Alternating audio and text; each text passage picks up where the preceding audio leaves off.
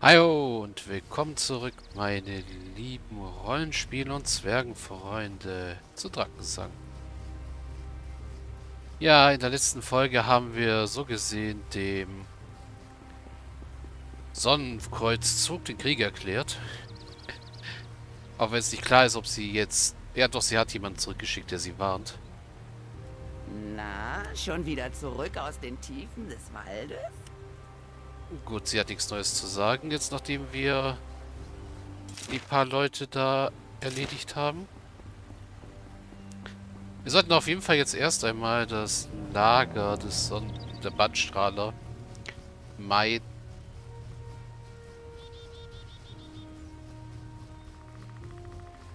Und ja, Sachen abklappern. Erstmal zu Alvena gehen, dann zu dem Hexbaum und dann zum Mauler. Das ist so der erste Plan. Salvine.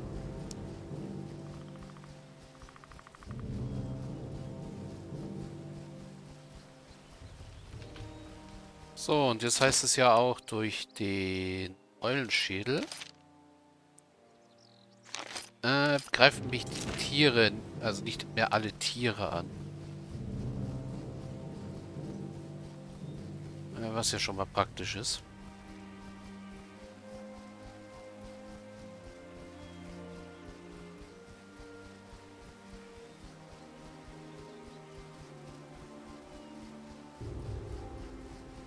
So, Alvene wohnt hier.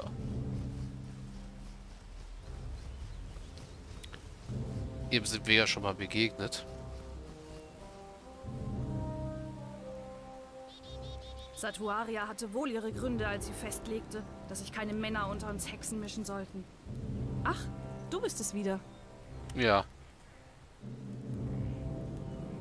Du bist eine Tochter Satuarias, eine Hexe, nicht wahr? Vielleicht kann ich dir ja behilflich sein. Aber, aber, das klingt ja, als meinst du, einem bestimmten Mann kann ich dir helfen? Nehmen wir mal das erste. Niemand hintergeht eine stolze und schöne Hexe wie mich. Aha, sehr eitel. Und erst recht kein tu wie dieser Danos. Wenn du mir helfen willst, dann bring diesen Armreif hier zu ihm. Das wird ihm eine Lehre sein. Was hat es denn mit dem Armreif für eine Bewandtnis? Sei bloß vorsichtig mit dem Reif, der ist nämlich verhext, aber er ist ja auch nicht für dich bestimmt, sondern für diesen widerlichen Stinktroll Danus. Äh. Und was ist das für eine Hexerei? Eigentlich viel zu harmlos für das, was er mir angetan hat. Dieser Tempel wird sich für drei Tage in eine kleine stinkende Kröte verwandeln. Ein Streich, den er so ständig vergessen soll. Drei Tage lang in eine Kröte. Nun, das wird ihn wohl nicht wohl in der Tat nicht umbringen. Also gut, gib mir den Reif. Ja, wunderbar. Wollen wir doch mal sehen, ob dieses Bauerding ihn immer noch küsst, wenn er nur noch Quark und Quok sagen kann. Hihi. Das wird ein Spaß. Wo kann ich Dados denn finden? Diese treulose, treulose Ratte lebt bei Gut Dunkelforst. Bestimmt sitzt er nichtsdestotrotz irgendwo auf einem Baumstumpf und träumt von den Liebkosungen dieses Strohpüppchens Firniane. Also eile dich, damit ich meine Genugtuung bekomme. Ich will keine Tochter Satuarias mehr sein, wenn... Ach, sei gegrüßt. Ja.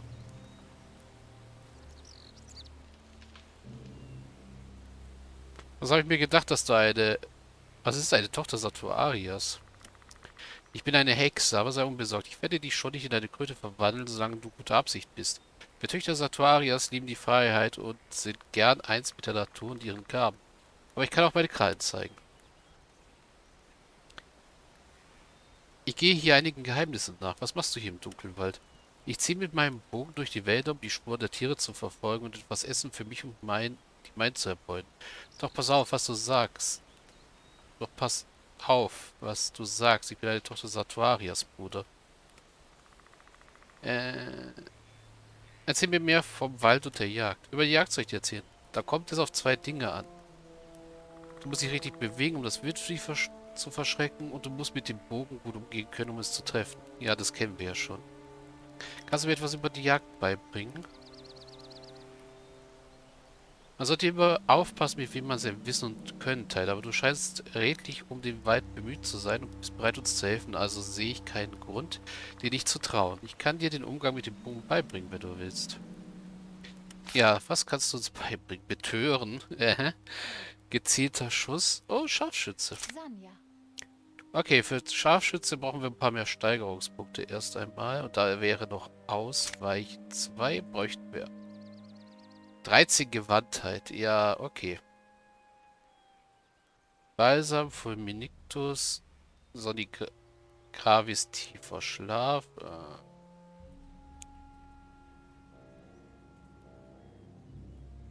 Ja, also Ausweichen und Scharfschütze, das wären so die Sch Sachen, die nützlich wären. Okay. Ähm, was kann sie uns noch sagen? Ich will keine Tochter Satuarias mehr sein, wenn... Ach, sei gegrüßt. Ja, das kennen wir schon, wo ich ihn finden würde. Was ich dich gern fragen würde.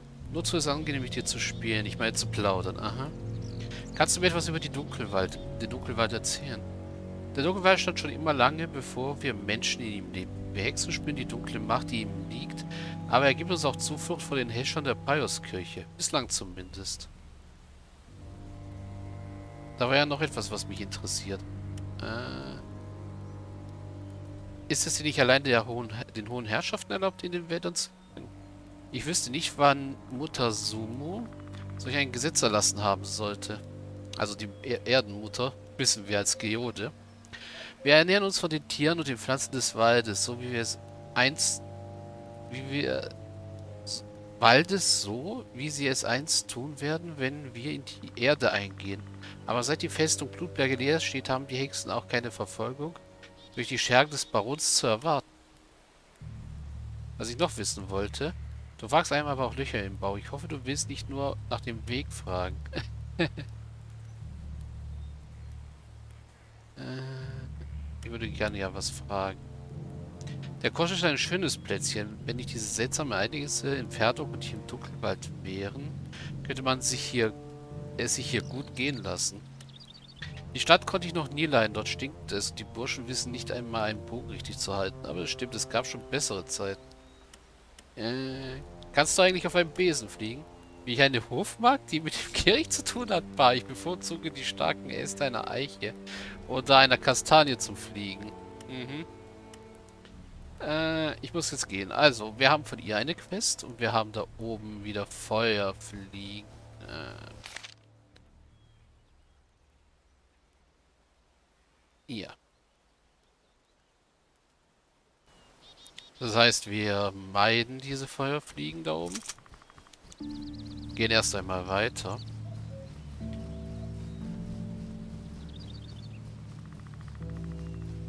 Und ja, Bandstrahler würde ich auch erstmal gerne meiden, soweit es geht.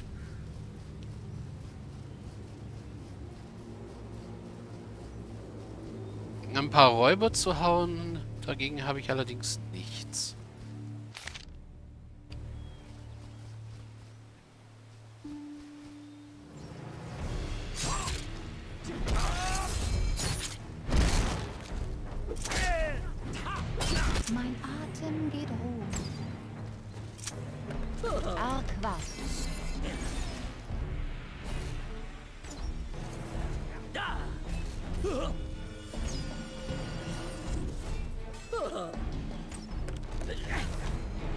Und nebenbei Gladys müssten wir einen Punkt in Gewandtheit geben. Der kostet 350. Okay.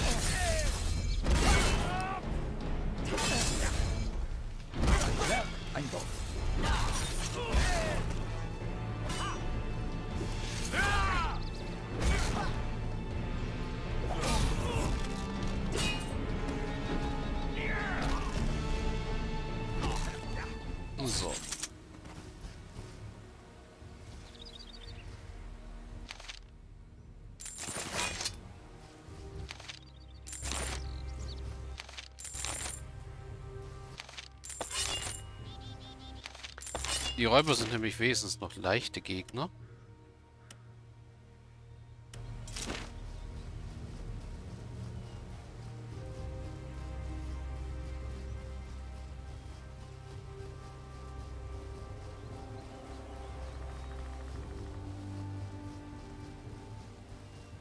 Ja, da unten sind wieder Bandstrahler unterwegs, da hinten irgendwo.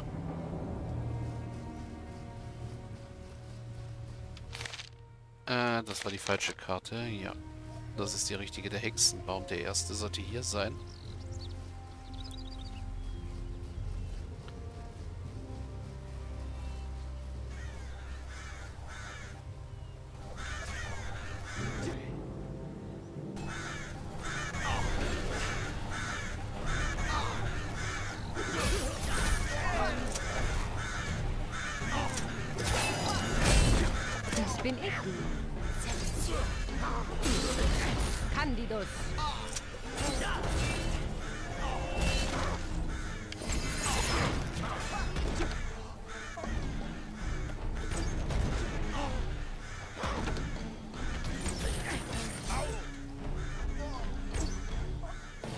So, kriegen wir jetzt auch da drin Schaden?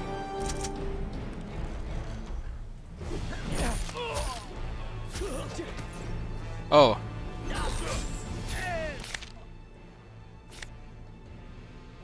Der Baum ist den Perioden zum Opfer gefallen. Äh...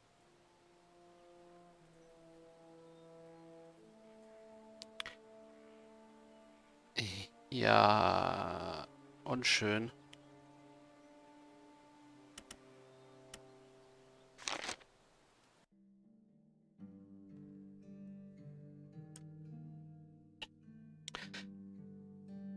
Das wollte ich nämlich eigentlich jetzt vermeiden.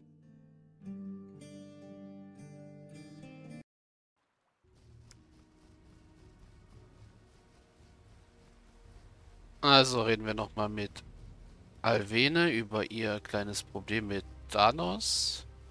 Gehen gleich zum Hexenbaum und da kümmern wir uns erst um die äh, äh, Bannstrahler, die den Baum attackieren.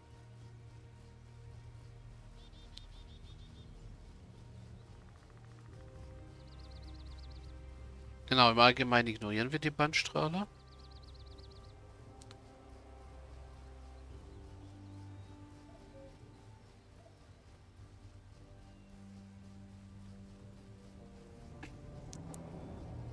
Weil ich bin jetzt auch nicht der, der jeden Prioten über den, über den Haufen hackt, äh, dem über den Weg läuft. Satuaria hatte wohl ihre Gründe, als sie festlegte.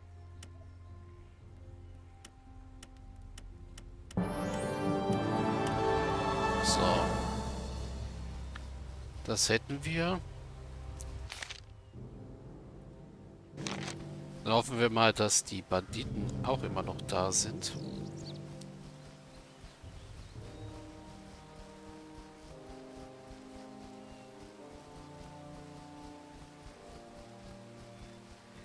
Ah ja, da stehen sie rum.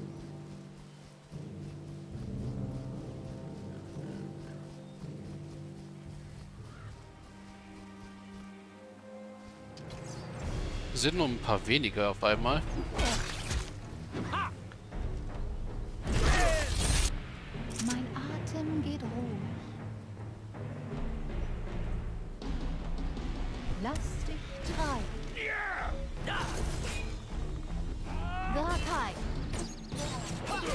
So, damit die Bandstrahler uns da nicht bemerken.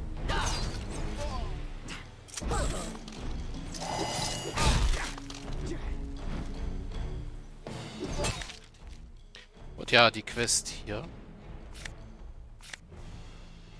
Erlange Alvenes Vertrauen.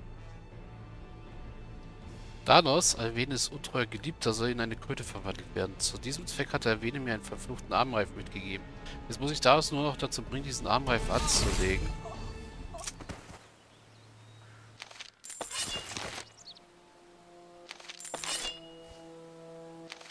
So. Keine Verbände dieses Mal.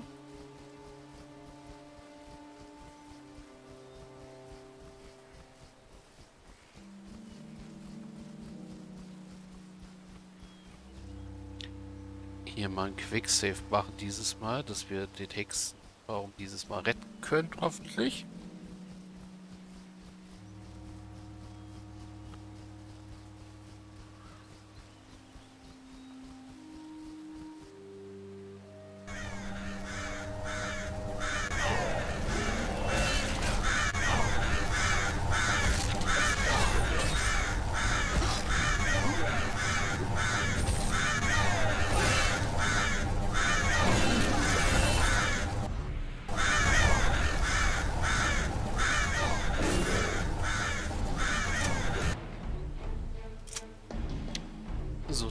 Befreiungsschlag. Du heilst mal. Maria. Du machst einen Fulminictus.